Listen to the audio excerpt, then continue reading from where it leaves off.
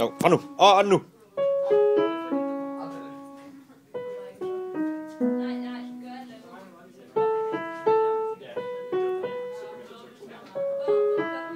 Super.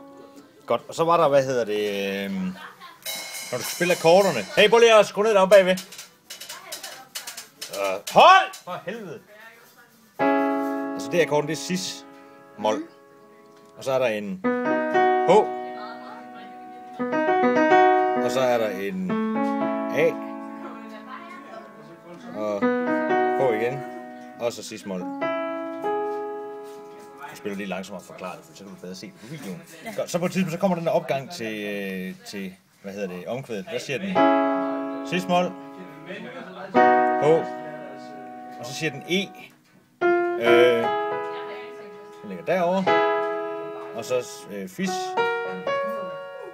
Og så tilbage til sidste mål. Og så er det det der shit igen. Sådan. Super.